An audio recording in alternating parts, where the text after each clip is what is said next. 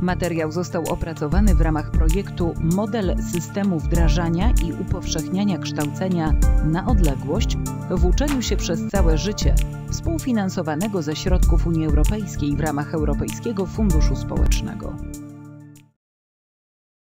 Witaj. Zapraszam do obejrzenia wideokastu dotyczącego ósmego modułu kursu Uprawa roślin. Dzięki informacjom zaprezentowanym w filmie zdobędziesz niezbędną wiedzę przewidzianą w tej części szkolenia. Podstawowym celem uprawy roli jest strukturalna, aktywna biologicznie gleba. Prawidłowy obrót składników pokarmowych między glebą i drobnymi organizmami żyjącymi w jej powierzchniowych warstwach, a roślinami ogranicza rozwój chorób i szkodników. Z jednej strony wskutek odwracania gleby liczebność populacji mikroorganizmów glebowych jest naruszana. Z drugiej konieczne jest odwracanie gleby do określonej głębokości i przykrywanie wierzchniej warstwy w celu niszczenia chwastów czy zmieszania z glebą nawozów i resztek pożniwnych. Najlepszą formę uprawy roli w rolnictwie ekologicznym dobrze określają dwie zasady. Płytko odwracać, głęboko spulchniać oraz uprawiać glebę tak często, jak to jest konieczne i tak rzadko, jak to jest możliwe. Strukturalna i aktywna biologicznie gleba zależy nie tylko od pracy mikroorganizmów, ale również od zawartości próchnicy, czyli humusu. Próchnica glebowa powstaje z materii organicznej gleby i decyduje w znacznej mierze o żyzności gleb.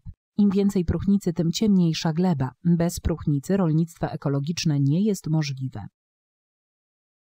Decyzję o przejściu na uprawę ekologiczną nie można podjąć bez dokładnego poznania stanu posiadanej gleby. Zawartość próchnicy w glebach jest zróżnicowana i waha się między 0,6 a 6%. Na wykresie przedstawiono zawartość procentową próchnicy w wybranych typach gleby. Kolorem niebieskim oznaczona jest zawartość minimalna humusu, a czerwonym maksymalna. Z wykresu wynika, że największa zawartość próchnicy występuje w glebach leśnych brunatnych, aluwialnych i czarnoziemach, natomiast mniejsza w glebach brunatnych i płowych. Funkcje próchnicy w glebie.